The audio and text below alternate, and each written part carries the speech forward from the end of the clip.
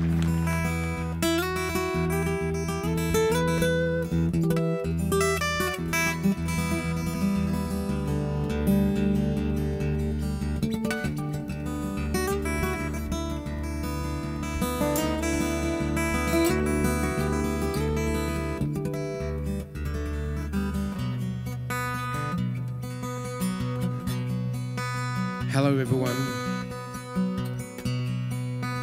Wish to the traditional custodians of the land that we walk upon, past, present, and future elders.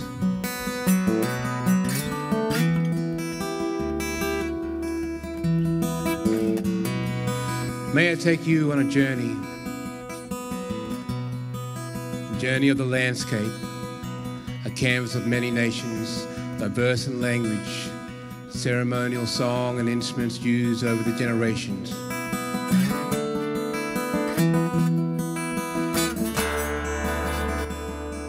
Ideas born not just yesterday, but an unbroken line that carries forward the notion that we are temporary, yet part of something significant and enduring.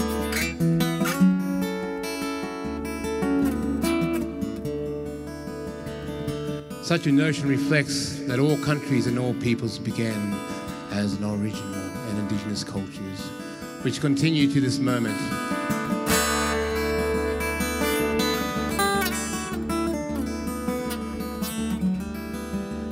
It is born in the respect and acknowledgement of the cultures and the customs from all places in the world. Underscoring that journey is the origin of music each culture and its people that hold their customs, story, and identity. Where did that sound come from? Where did that rhythm come from? Where did that song and language come from? Where do we come from?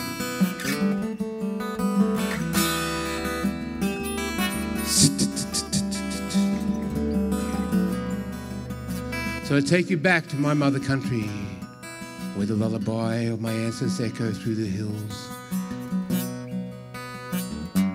The rocky outcrops and the spinifex grass flowing into the small creeks and the rivers and the waterholes of knowledge.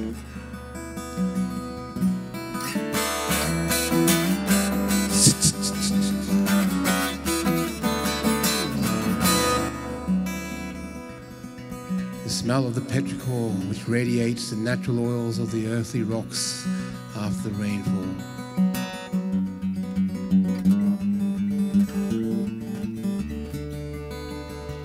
Such a memory. Memories then seep into the river flow of life, back into the trees while around the campfire in the night. The burning ambers dance into the night sky of shooting stars remind us we are human. We are a symphony, a symphony of stars in the universe.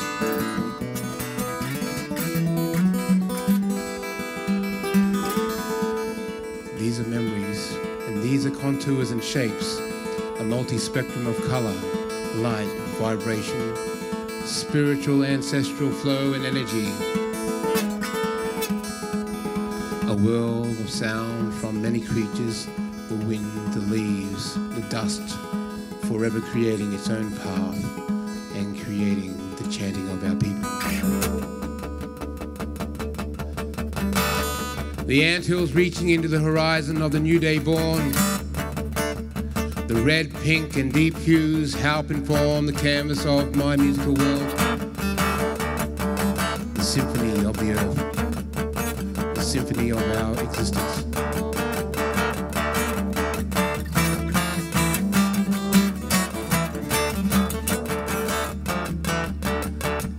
Growing up in the rugged beauty of the Argylla and Selwyn Ranges of far northwestern Queensland, my hometown, Mount Isa, the heart of Kalkadunga country. I listened to my elders. I was always in awe in their presence. Uh, I listened to the music around me, from Slim Dusty to ACDC to Metallica, Yngwie Malmsteen, Vivaldi Four Seasons. To the Irish, the Scottish, the Welsh friends of the Mount Isa Folk Club once a fortnight. There was a musical canvas forming, transformed by the shades of colour, the blurring of shapes and forms, encouraged and energized the musical harmony and humanity in the sharing of creative space. It would soon become a realization drawn from a growing body of experiences and collaborations rising out of the many paths ventured and tampered with opportunities and challenges. I was on a quest to find meaning and to develop my voice to share that meaning with others.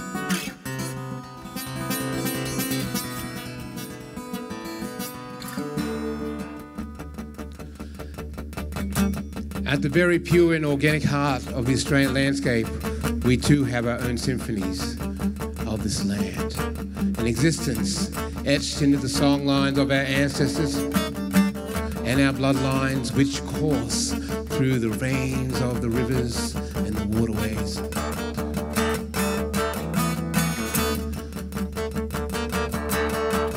Whether it's dry or full, that riverbed, the spirit still remains it's up to us to connect with country and become in tune and sing it up.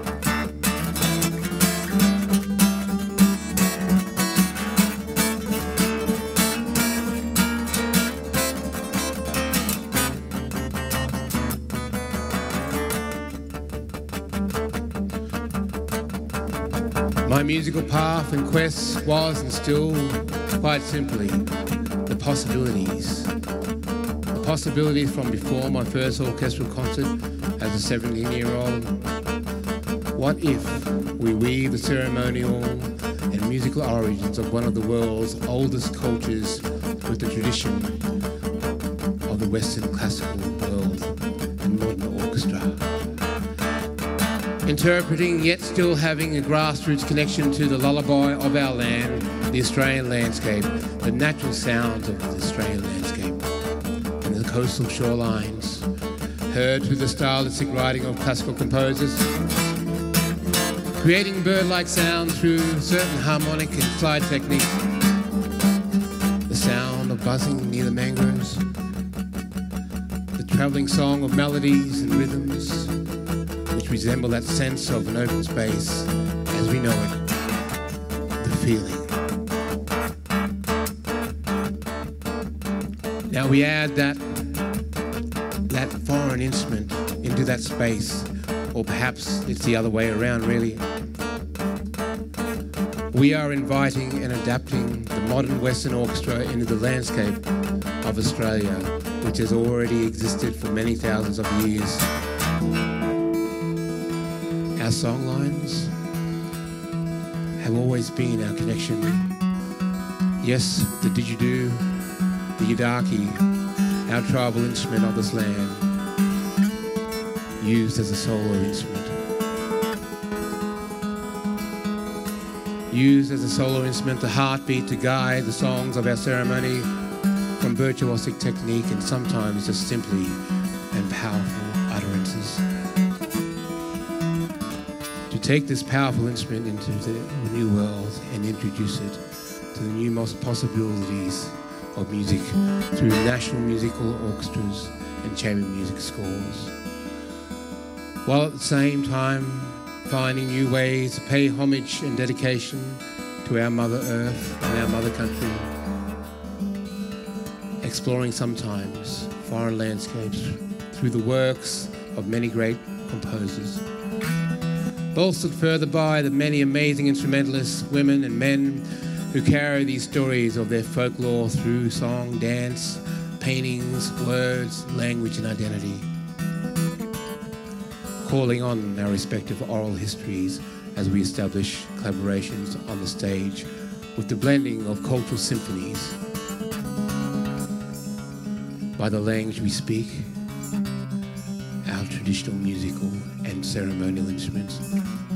We continue to breathe life into our essential lullaby. the wisdom of our elders, the pinnacle of truth, honesty, and identity.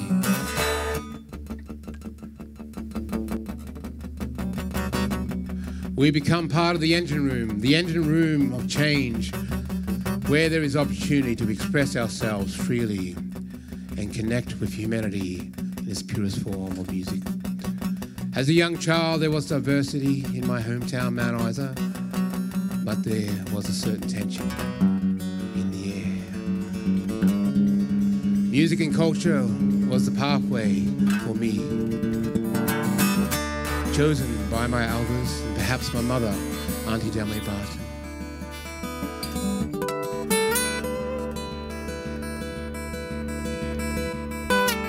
Playing classical to me, to me, before I was born into this world. My mother's journey, a very special person, who still to this day carries her lullaby with her wherever she travels. From reciting her special poems within the Vatican of, for Mary MacKillop's canonization, or singing in minus 40 degrees in southern Ontario, Kettle Point, to our natural amphitheatres of Australian bushland. All of these experiences helped open my mind to the different styles of music. Opened my heart to humanity. Similarly, this reflected in the strong connection with Véronique Serret in her Heartland project, exploring the direct connection to her instrument, the violin, voice, and the didgeridoo. Listening to the land is really special. I love my work, and I say thank you to all the people who have journeyed on this path with me, generously sharing their themselves and their knowledge and wisdom. I remember when I first heard my uncle, I was spellbound, and you know, it was magical. I knew in that moment I wanted to be a part of that mystery, part of that magic. I still am. And I wish to spare, I wish to share some of that special magic with you all right here, right now, with a piece called Digifusion.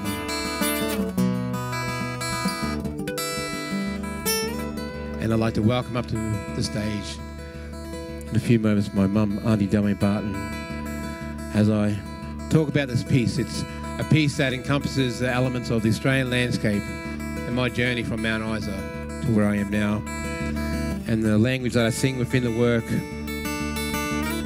I wrote when I was 15 years old, representing, I guess, my language and the importance of how important it is to uh, teach language in schools today.